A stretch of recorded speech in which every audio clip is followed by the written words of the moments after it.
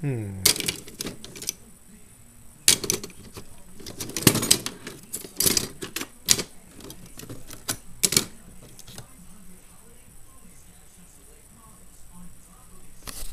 Hmm. Try this out. So my my friend my friend Jared B, uh, Wooden Prom Rose, gave me some advice. To, to open this can of peaches.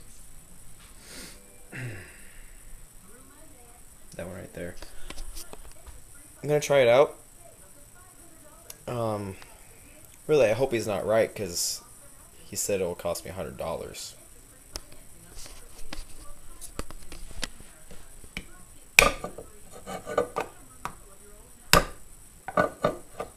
And then I drank a bit of beer, like a half a beer. And now I feel really